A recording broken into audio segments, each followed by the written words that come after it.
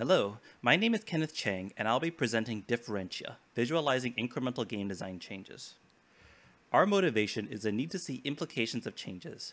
Small changes in the code and assets of a video game can have drastic impacts on the player experience, but as you can imagine, playtesting every incremental build of a video game is unreasonable. So our idea is to directly see the differences our changes make on the space of play. For instance, in the game Super Mario World, modifying the gravity effect on Mario will actually cause Mario to die on the title screen. This is undesirable behavior, as you can imagine. The way we do something like this is to explore, embed, and cluster.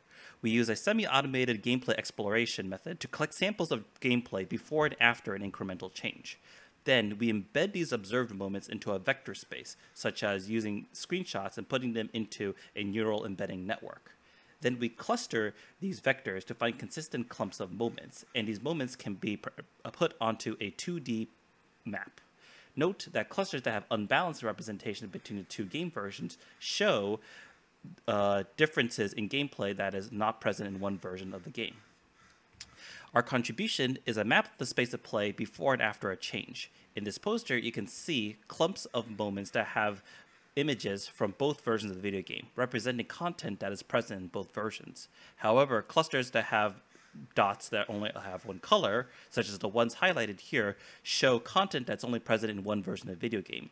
In this instance, when the effect of gravity is slightly reduced, there is an entire level that cannot be reached because a cutscene plays incorrectly. Thank you for listening to this talk.